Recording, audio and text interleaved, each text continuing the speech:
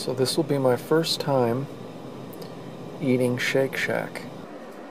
What I have here is the Shake Shack Smoke Shack Stack, or it's called Smoke Smoke Stack Shack. So we had to go uptown to get it. We don't have one on our end of town. Look at that. I'm going to review the french fries here on the road. I'm to wait until I get home for the burger. Crinkle cut.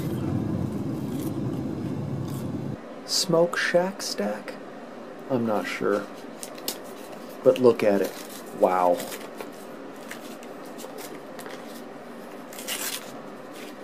It's got uh, cherry peppers on it.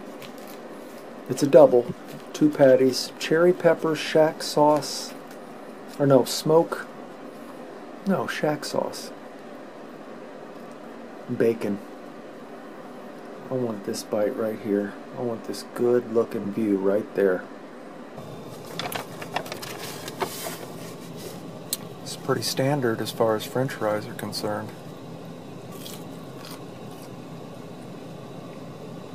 Okay, this is my first time having Shake Shack.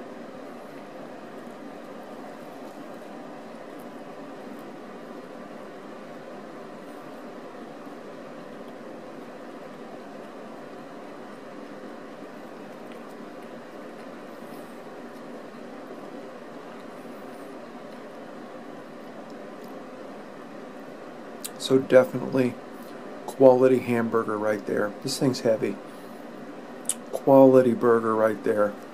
I didn't get any bacon on there, but I get, did get the cherry peppers, and wow, I like that.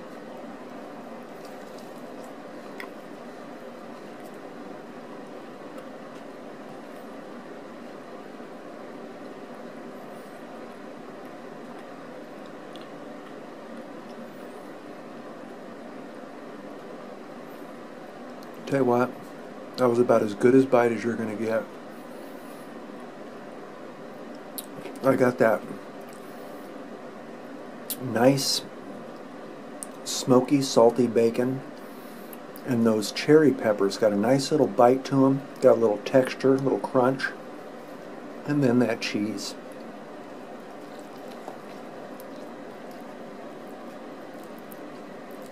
Yeah I mean it's just a french fry. There's no seasoning or anything that's unique about it. It's pretty plain.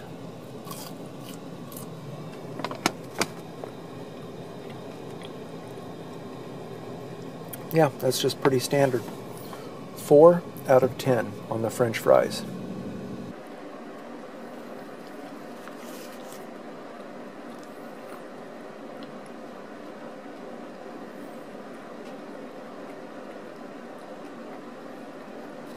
I like those peppers on there.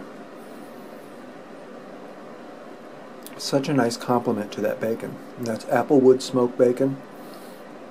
I'm telling you what's really catching my taste buds here is the quality of the beef. That is a high quality beef and a lot of it. 8 out of 10 flushes. You saw it right, you heard it right. Now tell me how wrong it is. P.S. Tell someone you love them.